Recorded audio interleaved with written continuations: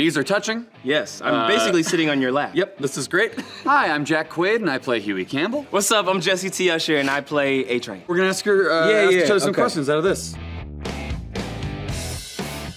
What's the longest you've ever spent cleaning fake blood off of yourself? I believe it's season one when I killed Rob. Yeah, yeah. I can't stop. I can't stop. I can't stop. Her blood really, Yeah. it stuck to me. You know what I mean? too soon, man. Too soon? Still? Too soon. Come on, man. Too soon. You've been in a relationship. You knew she had sticky I blood, and that's that. why you were. I didn't know. I thought it was O negative. I didn't know what it was. You know you did.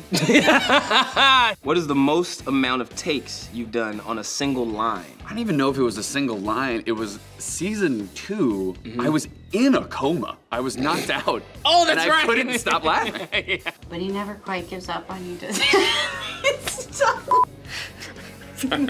Sorry. Okay, who's a character you haven't had a scene with, and who would it be if you did? Who do you want to work with? And like, yeah, Like, yeah. who do you- who do I wanna work the- with? I haven't had a proper scene with Karl yet.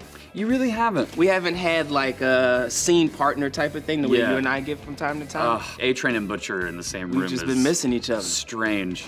We missed the boys. But I like that energy. I don't know what it is, but I want to see it. It's untampered with. We don't know what it's gonna be, so like I, I would like to do that if we're Yeah. gonna do something. You're writing fan fiction for your character. I know it's already good. It's already good.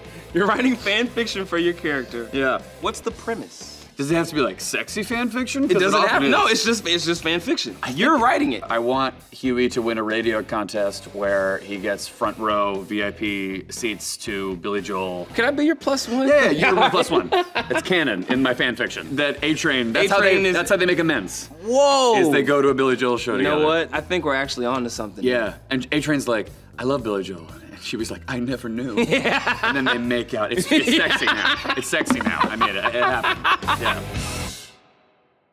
Yeah.